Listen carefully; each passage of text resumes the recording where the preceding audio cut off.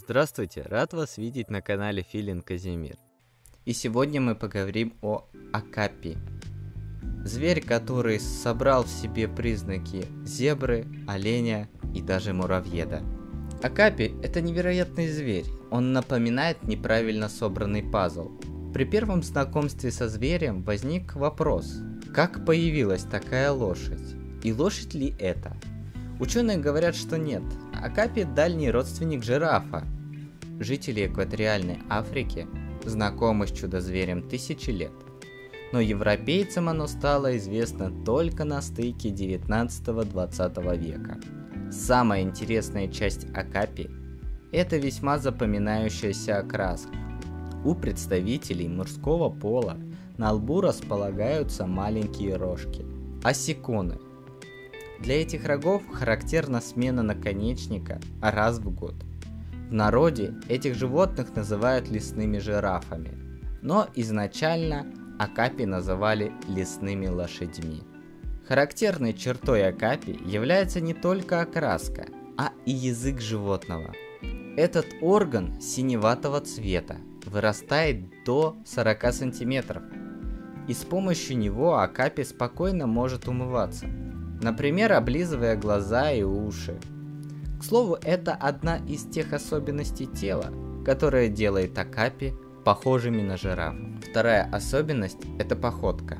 Что жираф, что акапи передвигаются одновременно, используя переднюю и заднюю ногу с одной стороны. Другие же копытные животные используют альтернативные ноги для ходьбы. Акапи не имеют инструментов сопротивление хищнику. Единственный способ выжить – убежать. Эволюция наделила их чутким слухом, позволяющим узнать о приближении опасности заранее. Уши большие, вытянутой формы, удивительно подвижные. Поддерживать чистоту ушей, регулярно прочищая их языком, зверь вынужден для сохранения тонкого слуха. Чистоплотность выступает очередным механизмом защиты от хищников. Представители вида не имеют голосовых связок. Резко выдыхая воздух, они издают звуки, похожие на кашель и свист. Новорожденные малыши чаще используют мычание. Кроме того, у акапи отсутствует желчный пузырь. Альтернативой органу стали специальные мешочки за щеками, где животное может хранить еду некоторое время. Акапи ведут дневной образ жизни.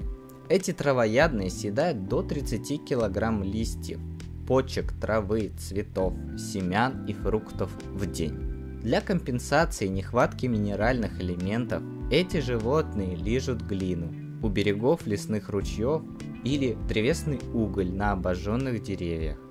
Некоторые растения, которыми питаются акапи, являются ядовитыми для человека – Акапи – это одинокое животное. Исключением становится только пара – мать-ребенок.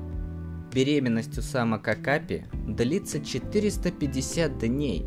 Это почти полных 15 месяцев. Эти животные проживают в скрытых местностях, домашний диапазон которых составляет несколько километров. Даже при том, что акапи не социальное животное, они терпеливо переносят друг друга в дикой природе. Бывают случаи, когда капи собираются в маленькие группы для того, чтобы прокормиться. Однако это не затягивается дольше, чем на несколько дней. Животное в упор не признавалось учеными до 1900 года. Однако, когда мир увидел впервые сведения о них, все крупные заповедные зоологические парки стали пытаться восполнить коллекцию животных, получив акапи. Первое заточение в неволю получилось осуществить силами Антверпенского зоопарка. Это произошло в 1919 году. Однако завезенный Акапи прожил в заточении всего 50 дней и умер. В наши дни 160 особей акапи находятся в 18 зоологических парках мира разных стран. Вот мы и узнали о таком уникальном и необычном животном, как акапи. С вами был Филин Казимир, подписывайтесь на канал, и мы с вами еще увидимся. Всего доброго.